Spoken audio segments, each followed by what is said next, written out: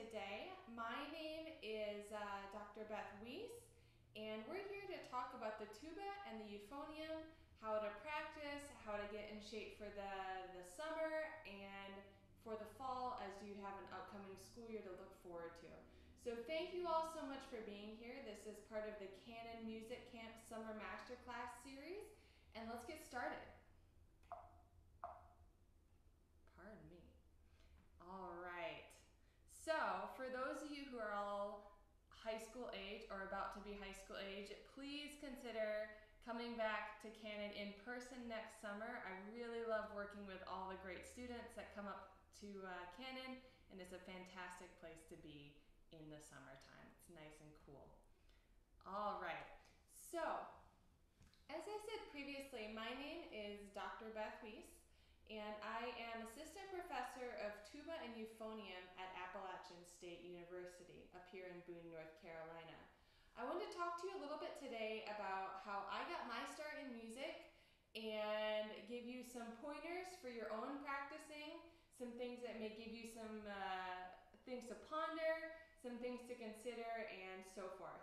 So we'll start with uh, a little bit about myself. I started music when I was six years old about and I started on the piano and I always loved music and knew that I always wanted to be involved in music. So I started on the piano um, and then maybe a year or two after that I switched to the violin and I love the violin. I love the playing the violin.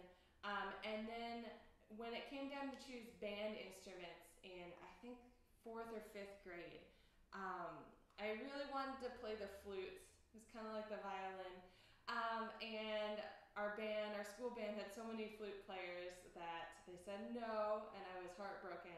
Um, but I ended up picking, choosing the euphonium, and I pretty quickly loved it and pretty quickly switched to the tuba right after that. Maybe by sixth grade or so, I was playing the tuba. Um, I played the tuba and the violin all the way through high school, and when it came time to choose majors uh, for what I might want to pursue in college, I just always knew that I wanted a career in music. And I didn't know entirely what I wanted to do, but I knew that I wanted to stay involved in music. So I chose to pursue a major in tuba performance at a university called Lawrence University. It's up in Appleton, Wisconsin. Um, and I kind of went into college thinking, I want to get as good as I can on the tuba and see where that takes me. You know, I, I'm not quite sure what careers are out there. I'm not quite sure what I would be really suitable for doing, but I, I thought I love music and I, I want to keep it in my life, so let's kind of go this direction.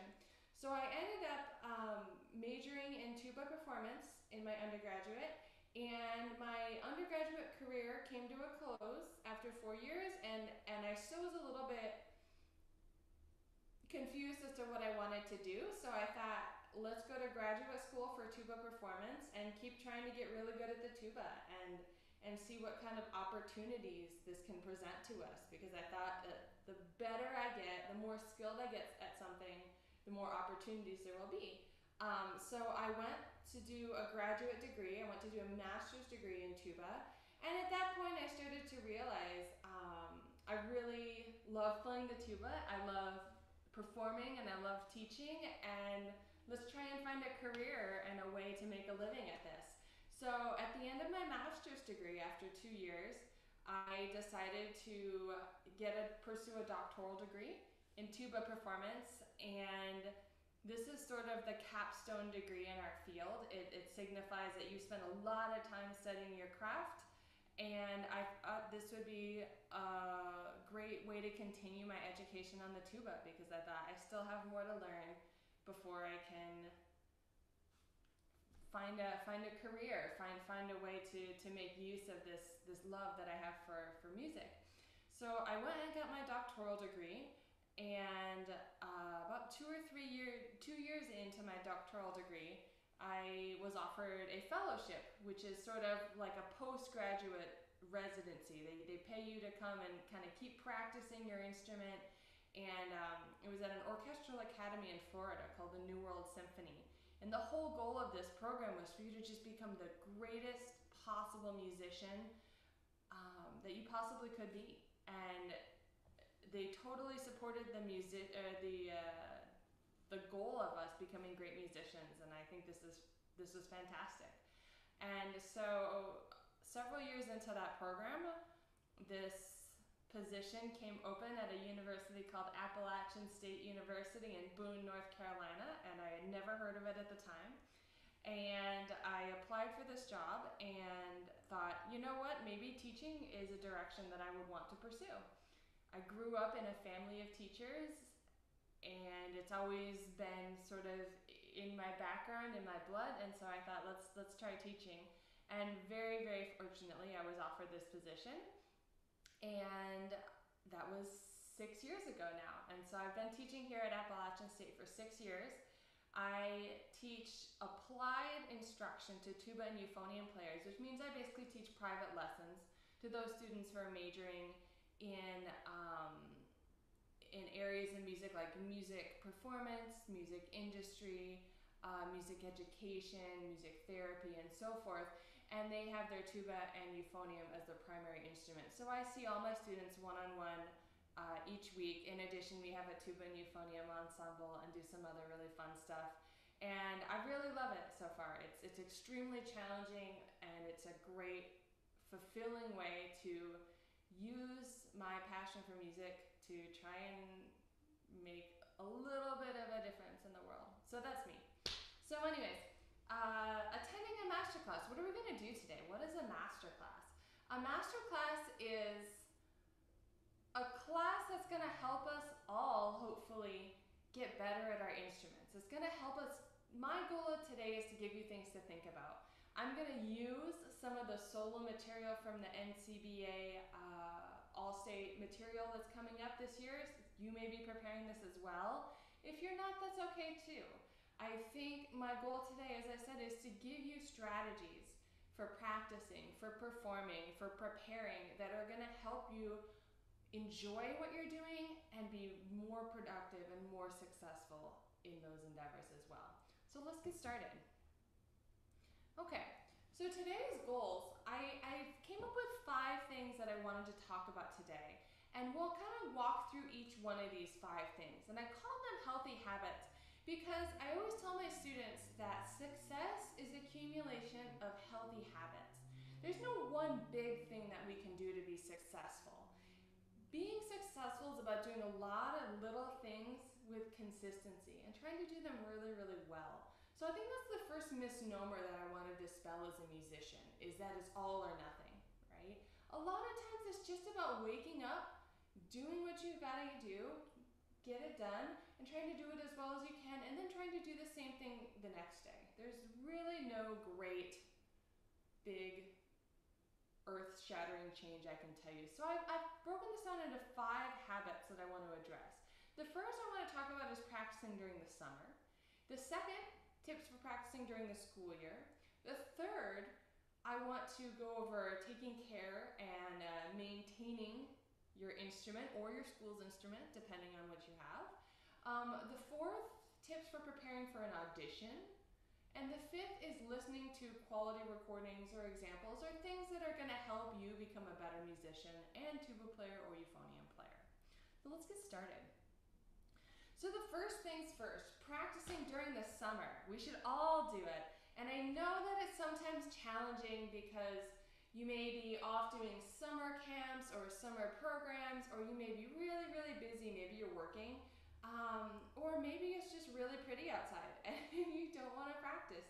And I understand. I've been there. I've been where you are, and it's not always easy. I know we love music, but it's not always easy. So the first thing I'll say is this. When we're thinking about practicing, you're going to use hear me use the word habit a lot. And that's because consistency is key here. It's not so much about quantity, about how long can I sit in this chair and practice. It's about what am I doing? When am I doing it?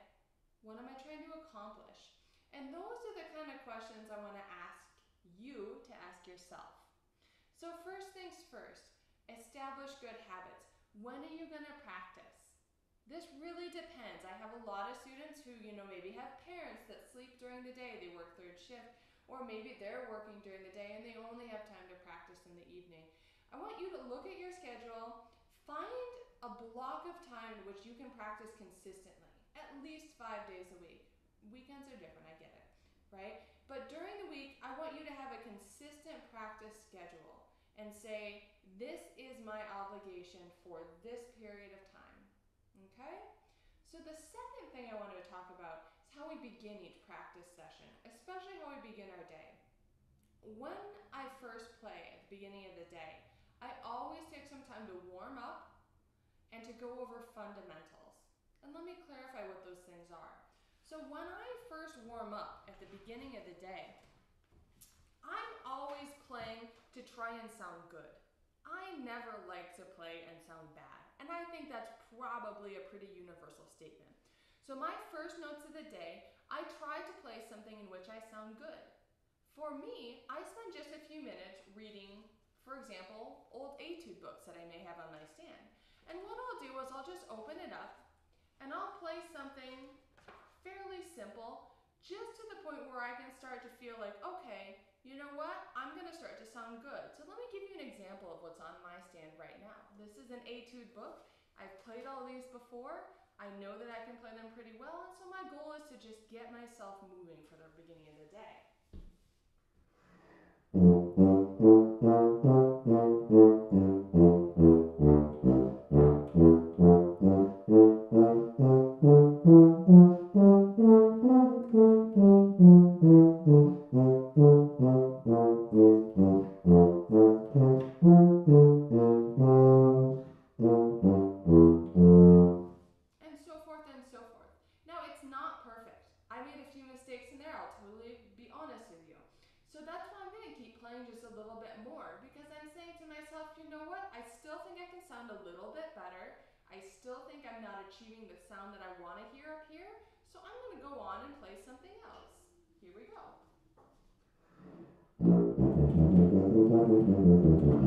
Mm-hmm.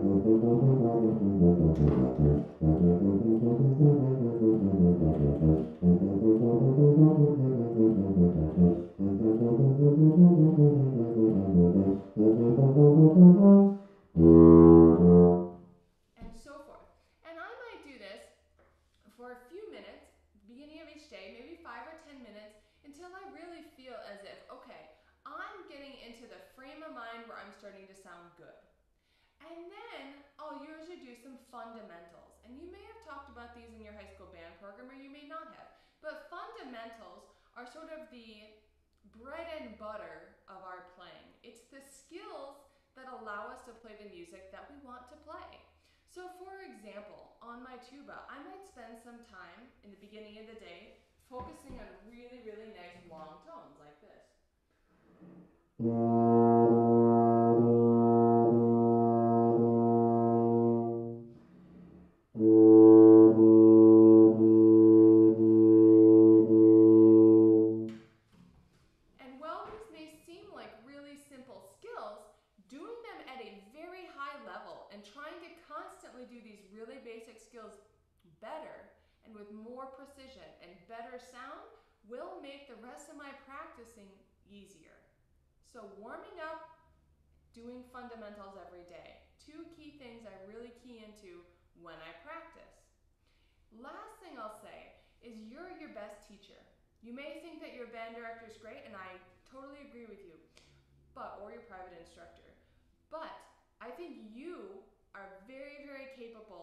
Teaching yourself as well, particularly when we use a lot of these devices that we have at our at our convenience these days. For example, being able to record yourself and listen back. You may you may hear something and you say, "Oh, I can fix that really easily," or "Oh, I actually really like that." Listening is critical to improvement. In anything that we do, listening is critical to improvement. So, be sure you always have a recording device, something like that, handy. And we'll talk about that later in this masterclass. So, these are my tips for, for practicing during the summer, and there are a lot that are similar for practicing throughout the school year. First things first, and I'll go over this again, like I said last time, consistency is key. Healthy habits lead to success. Approach practice like you would doing math homework, science homework, anything like this. The more you do it with consistency, the easier it gets to pick up your instrument the beginning of the day, end of the day, whenever you sit down to do your practicing. So during the school year, particularly when we're all really busy, it's important to set aside some time each day to do your practicing. And it's much easier if you set aside the same time each day to do this. Much, much easier. This I can, this I can promise you. Um, next thing I want to go over, taking advantage of opportunities in your community, participating in ensembles and activities within and outside your school. So many of these things, first of all, are really enjoyable to do. For example, you know, brass bands, youth orchestras, youth wind ensembles, you know, marching, uh, marching groups, etc. These are so great in that they allow us to practice our craft while being around other people, while learning from other people, and while doing what we love. And I think this is really, really key instrumental, if you will, in our growth as musicians. So I really encourage you to be as involved as you possibly can with any musical groups that you have access to and, and you know your area best. Pursue these opportunities the best you can. And, and I think that really pays dividends, even if you don't want to go into music after school, after high school. It's just a really great way to develop and really appreciate what you do on your instrument. So last thing I'll say for practicing during the school year, challenging yourself in the practice room, setting goals um, that help you reach success throughout the year. Um, really depending on your band program, maybe you have an, a private instructor as well. Some of you have this, these goals set in front of you really clearly already. You know, maybe your instructor gives you etudes or assignments each week to complete and is very rigorous. Or maybe your band director, you know, has to deal with a huge band and so you don't have a ton to do, particularly as tuba players, sometimes we tend to be a little bit forgotten in the back. So it's really important, I think, that you challenge yourself to set consistent goals. With my students, I give my students etudes assignments each week so that their practicing is always focused and it's always um, sort of driven towards a goal. So they're always trying to prepare an etude each week. Uh, with your NCBA solo solo material coming up, you may set a goal of trying to learn a portion of that each week. Anything that will help you stay focused in your practicing. Because I think where we really hit a wall and where we really lose motivation is when we kind of, you know, pick up our instruments and think, okay, what am I going to do today? And then you maybe play a note,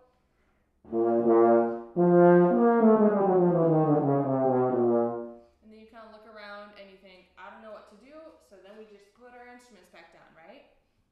So, before you practice, this is really key as well, know what you're going to accomplish. If you just sit down, pick up your instrument, and kind of play, and you don't know what your goal is, it's really hard to stay motivated and it's really hard to be productive. So, set a goal, set a benchmark, We'll talk about that when we come to uh, these these NCBA NCBA solo material that we're going to look at how to set goals in your practicing. Okay? Great. So, healthy habit number 3, taking care of your instrument. Okay? This one is really important if not super fun. Sometimes it's super fun, let's be honest. Um, but taking care of your instrument is really, really important. First of all, from a health perspective, you know, we all are coming out of this this pandemic. I think a little bit more aware of hygiene, and that's great. And your instruments need to stay clean for many of the same reasons that we've kind of learned over the past year and a half, which is that hygiene is really, really important. Bacteria can very easily grow in our instruments, and it's not nice. So your instruments really need to be fully cleaned and bathed probably about once a year. And if you don't know how to do that, your local music shop really are the people to answer your questions on that. Basically, you want to be playing a clean as, as clean as possible of an instrument as you can each time. Each time you pick up your instrument. Now, let's go over some basic things that you can do on a weekly basis that are going to help make these cleanings go a lot faster and help you play with a lot more ease. So first and foremost, your valves or your rotors, and I'll show you these in a second, they really need to move with consistency all the time, no excuses. And with valves, let's just go over this really quickly. I have my euphonium here to show you. With valves, when you're oiling your valves, you need to be able to unscrew the top of your valve, take it out, put oil on it, right, and then put it back in your instrument. A lot of times I see students, pardon me for one second, a lot of times I see students put valve oil in the undersides of their valves, and I'll show you what I mean. A lot of times students will put valve oil right here on the bottom of your valves, right? Without twisting off these things, these valve caps. The valve caps need to move. It's much more efficient to oil your valves up here. This is not really gonna help oiling your valves from the underside, okay? So, that's ro or valve care. I have a rotary tuba here as well. When you oil your valves on your rotary instrument, it's a little bit more complicated, so just pay close attention. But your rotors in the back here, we have rotor caps here that all need to twist off. When you oil your rotor, this is a very large tuba, this is not comfortable, but when you oil your rotors, you need to take off the rotor cap, put the oil in, and then replace. There we go. In addition, you need to be oiling around any moving parts. So the linkage and the bearings over here, you need to be putting a drop of oil in there as well to keep your valves, or your rotors in this case, nice and smooth. Now, with valves, piston valves, like on the euphonium, you probably need to be oiling them maybe once a week or so. With rotors, you don't need to oil them as often. I would say every other week, every third week, you're fine. Our rotors do not need as much oil. The other thing to be aware of is your slides are supposed to move. And I say this partially joking, but also totally serious. Our slides need to be able to move comfortably. Okay? So, if your slides don't move comfortably, you need to get some slide grease and you need to grease your slides. Before you do that, wipe everything off and then apply a fresh layer of slide grease. This is really important for when we tune as an ensemble. Makes it much easier for slides to actually move and it helps us play with better pitch and it helps our instruments stay, again, cleaner and more hygienic, okay?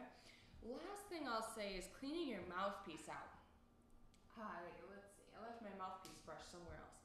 But before you practice, maybe once a week, get in the habit of taking your mouthpiece, running it under some warm water, mouthpiece brush, and just brushing out the back, right? It's, it's a little bit like, you know, imagine if you didn't brush your teeth for a week, you would feel pretty nasty. Same thing with your mouthpiece here. Make sure we're cleaning our mouthpiece on a somewhat regular basis, okay? And the last thing that I'll say is what to do when your instrument needs repairs. Um, there are certain things that I think your, your band directors are really can be really, really helpful with. You know, if your mouthpiece is, is maybe a little bit dinged or if uh, your mouthpiece is stuck, uh, things like that, certainly go and ask your band director. But don't try to fix complicated things yourself because a lot of times we can particularly uh, make something worse. And this really applies with rotor instruments.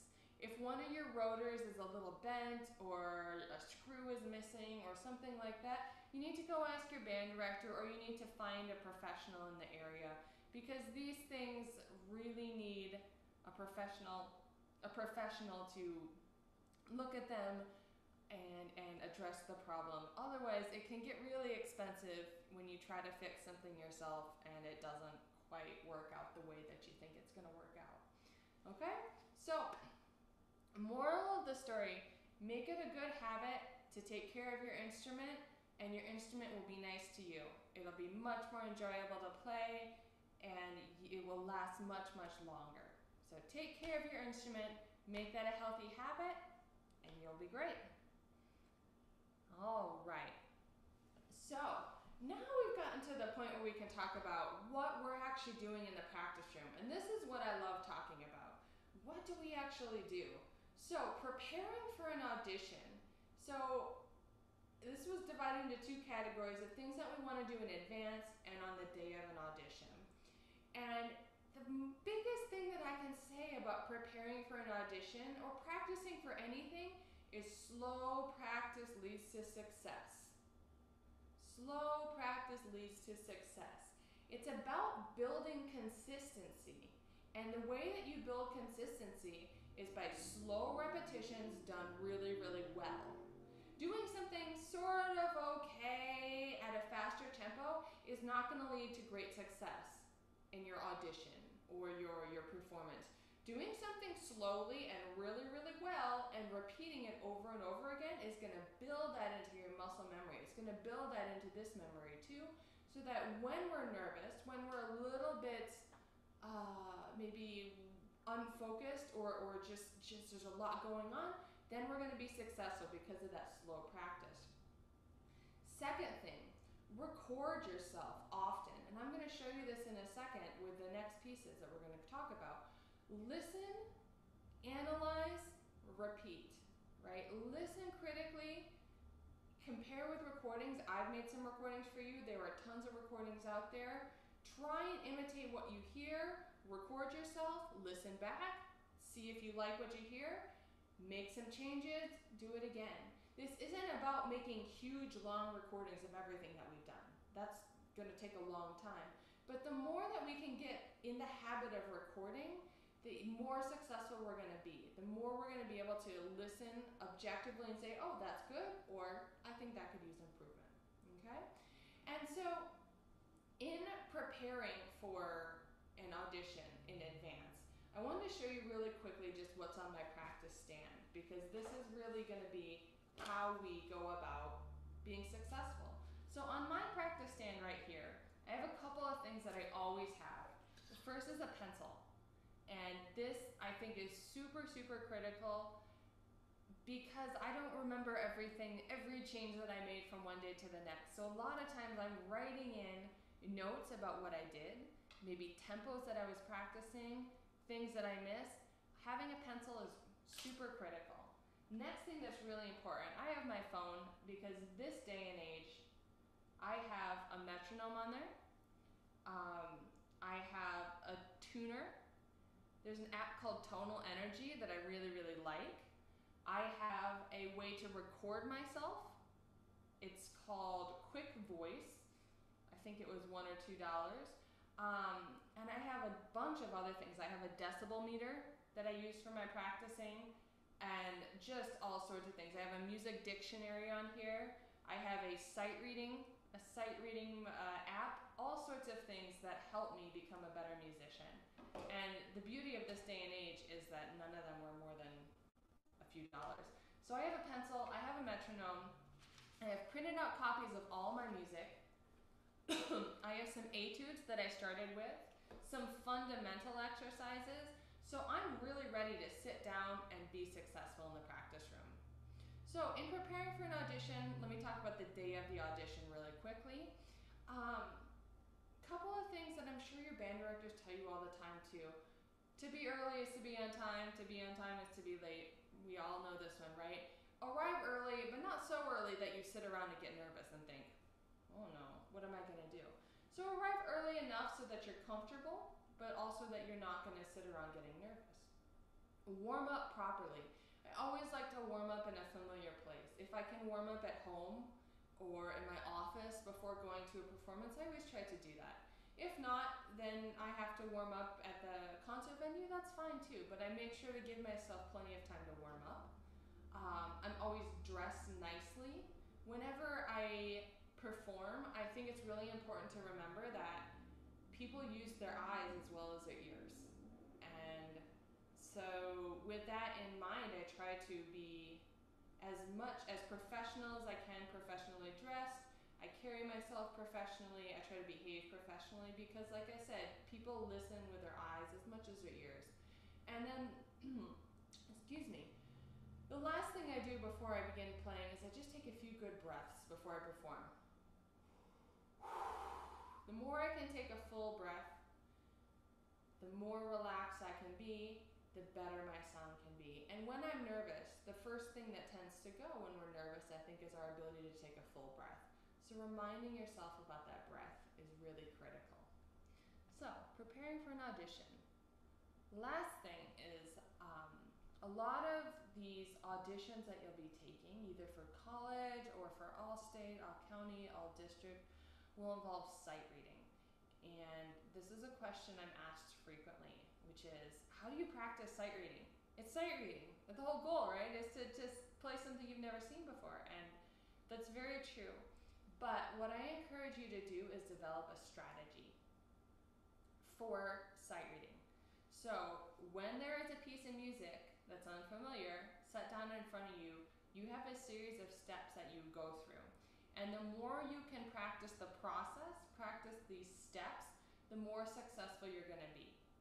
Most of the time, we're unsuccessful in sight reading because our brain is just going like a ping pong ball, right? So the more we can develop a strategy. For me, when I first have a piece of music in front of me, the first thing I look at is the key signature. Next thing is the time signature. Next thing I look at is maybe the first couple of measures. Then the last couple of measures. And then I look through depending on how long how long the piece is, I look through the middle or, or some other sections. I look where the tricky spots are. And I put my focus there. I don't waste time thinking about, okay, this is a really easy part. If I know I can play it, I move on. My eye looks towards, you know, oh, do we have accidentals? Do we have key signature changes? Do we have time signature changes? And so once I go through these visual checks of everything, then I consider starting. I get a tempo in my head, it's really consistent. And once I start, my goal is to just keep moving forward. And this is more challenging than it sounds. But even if you make a mistake, our eye is constantly moving forward. So when I practice sight reading, I might do it with one of these etude books. I might open up to a certain page and say, okay, number 20 here. It's in 6-8, it's in the key of E major, we have no modulations, and then I would begin. And so I would give myself challenges like this, and if you have etude material, that's great. If you have band parts that you can practice sight reading, I think that's great. Anything that's vaguely unfamiliar is great material for this. There is a great uh, website that I think is is helpful. It's called sightreadingfactory.com, and it's kind of fun to just mess around with. but it will give you sight reading in various keys. You can choose keys and time signatures, uh, rhythm, particularly challenging rhythms, uh, accidentals, things like that. And the more you can develop a strategy for sight reading, I think the more successful you're going to be. The only way to do that is to practice with that strategy in mind. What are you going to do when a piece of music is set in front of you? Go through the steps, and that's how I go about practicing sight reading. All right, let's dig into some music. All right, so with these NCBA solos, we've made uh, recordings for you, and I want to talk through a little bit about and the first step in practicing these pieces, I really think, is listening to a recording with your music in front of you. With your music in front of you, it's really important because you can see then the time signature, the any of the rhythm, the accidentals, anything that you you need to know. Watch and listen. And that's the best way to start preparing a piece of music. So before anything else, take your piece of music, sit down with preferably a good pair of headphones, listen to a recording, and watch. And when you're watching, I would have a pencil in hand and mark anything that maybe is a little bit weird to you. For example, in this uh, euphonium solo, I'll talk about euphonium and I'll talk about tuba and I'll tell you which ones, but we'll kind of switch back and forth. But in this euphonium solo, there's a lot of terms. And upon first listen, maybe you'll have an idea of what term what these terms mean. You know, for example, we have sempre cantabile, animato, l'istesso tempo. And I might have some idea of what those mean, or I might not. And so I would take my pencil and I would circle it and maybe write a question mark saying, okay, it's time to look these things up. Or if we have the tuba version in front of us, of this, this audition solo 2C, I might look at that and say, oh, it's marked marziale. What does that mean? Or we have dolce in this one. And the next thing I would note when I'm listening to this are all of the various indications on the page. So for example, with the tuba piece, we have accents. We have mezzo forte dynamics, forte, tenuto, we have slurs, we have staccato notes, we have crescendos. There's all of these indicators, and that's, I think, what you would really want to pay attention to on your first listen. Okay? The next thing is how we go about practicing this. How do we start? The first thing that I'm going to start with is a metronome. So I'm going to pull up my metronome right here. And as I said eons ago now, slow practice is quality practice. So let me demonstrate how I might do that. If we have the tuba solo in front of us, the tuba solo is marked 88. And I'm going to start very slowly because I want to produce great sound and great style and great musicianship from the very beginning. So I'm going to slow this down a lot. I'm to slow it down to like 58 it's to feel really slow. But what I'm to do is I'm going to, turn this off for a second, I'm going to practice this in small sections. So for example, I might take the first four measures and I marked it with my pencil, I put in brackets, and I'm going to put on my metronome and I'm going to practice just those four measures. I'm going to focus on playing everything that's on the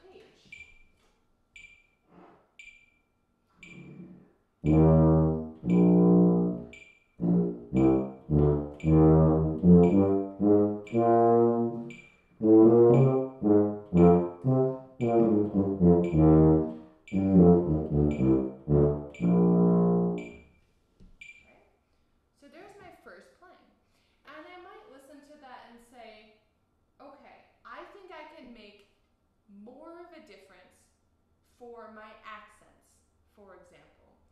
And then I want to have a greater sense of leading up the scale so that we can play this musically. It's compelling, it's not just accurate. And so with these goals in mind, I'm going to try that again. Make more of a difference on the accents, more of a sense of direction as we keep ascending towards the top.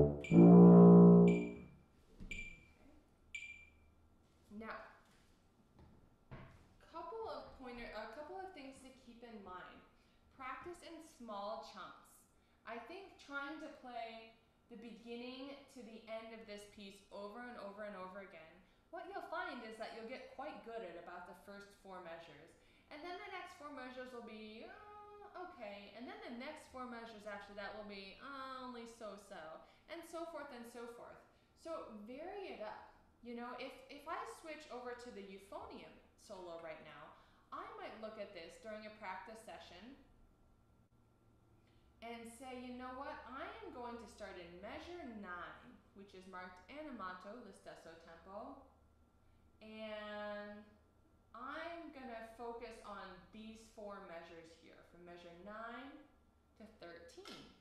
And I'm gonna practice again really slowly, probably about the, about the same tempo, about 54 this time, we'll mark it down to. And I'm gonna say, I'm gonna focus on being with my articulation so that you can really hear the difference between a slur and a staccato note and an accent. So that's my goal for this practice session.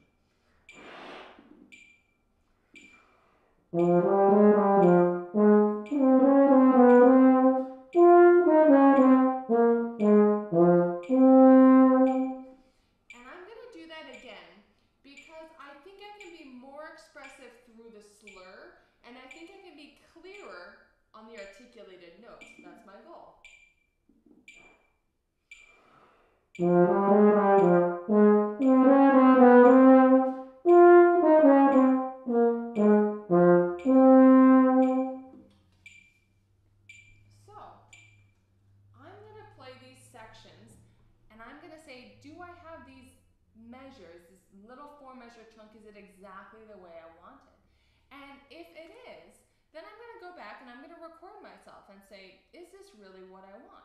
This is where I really like the app Tonal Energy. And what this allows us to do is we can put on a metronome, so I'll set my metronome again, and we can record ourselves and listen back. So I'm going to record myself and listen back and see what I think. Same excerpt, same four measures.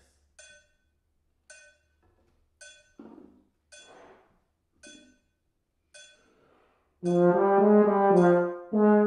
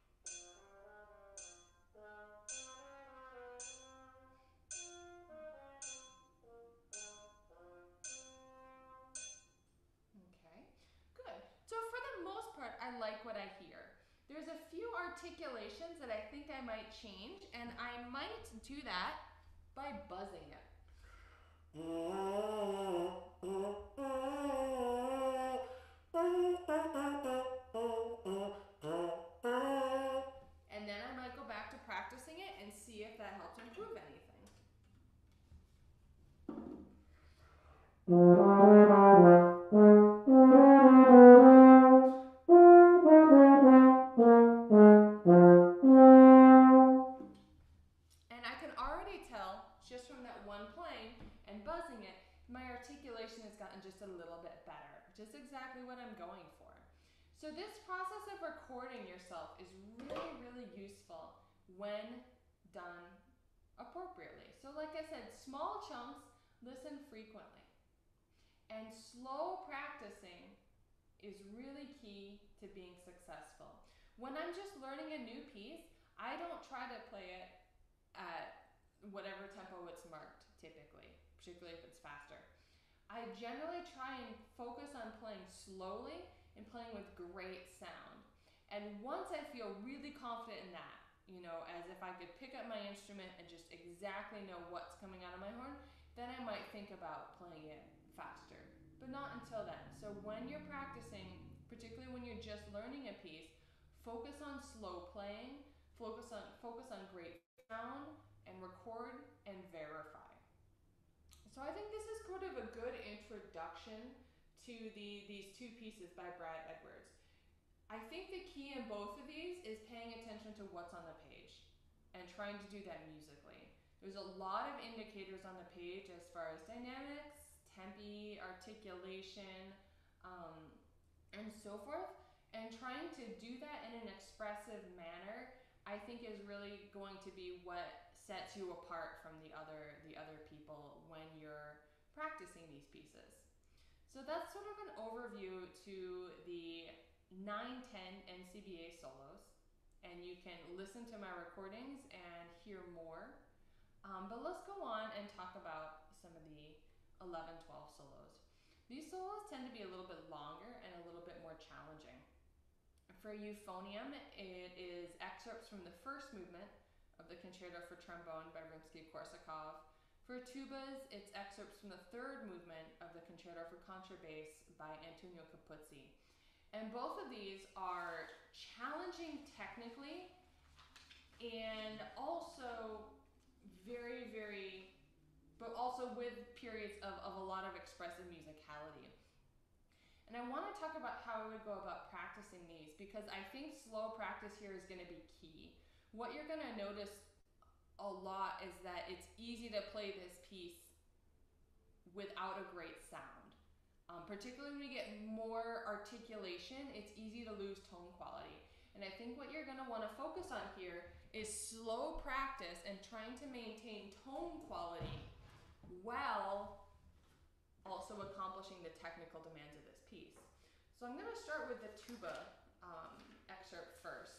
And this is the Capuzzi, the Concerto for Contrabass. And when I'm first learning this, I'm going to put on a metronome and I'm going to do this very, very slowly. And I'm going to divide this into sections. Um, for example, let's pick a section together. How about looking at,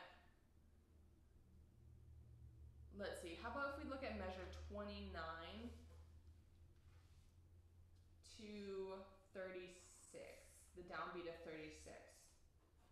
And this is a long, complicated run, which sounds at full tempo like this.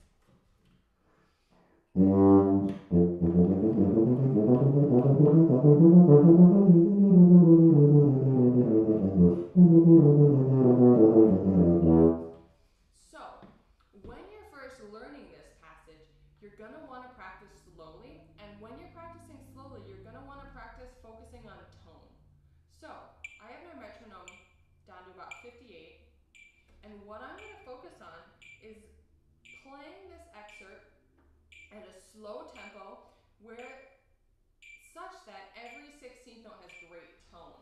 So it'll sound like this.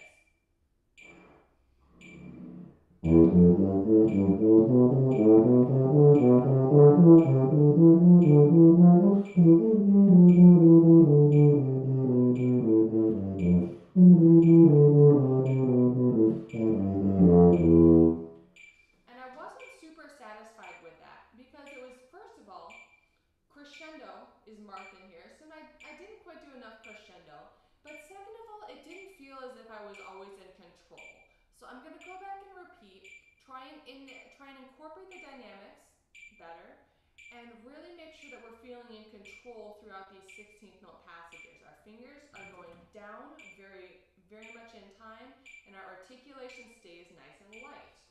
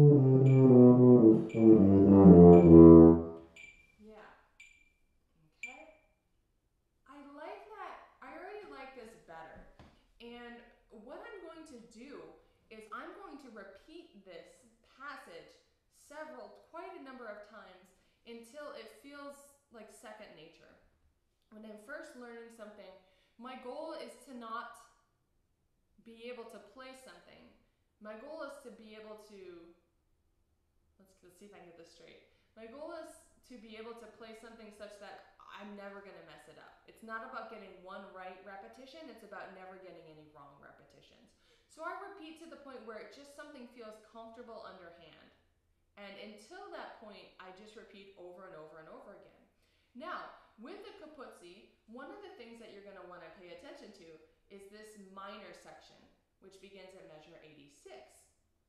And what's challenging here is making the difference between slurs and these staccato 16th notes. So for example.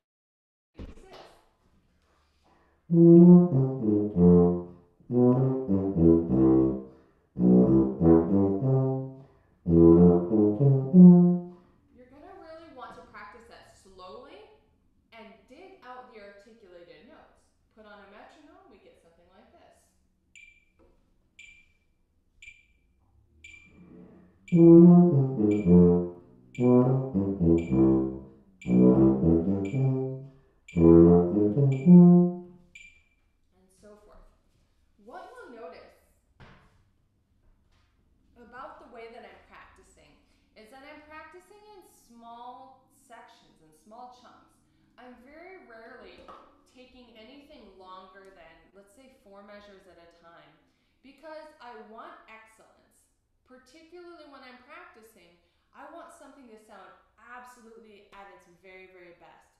So when I'm first practicing, I'm practicing slowly in small sections, recording myself, listening, fixing, repeating, and so forth.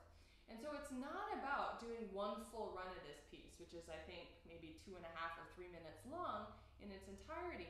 It's about doing one thing really well. And I kind of equate this to like building blocks, like Legos or something. You're, you're kind of polishing one, maybe not Legos, rocks or something. You're kind of polishing one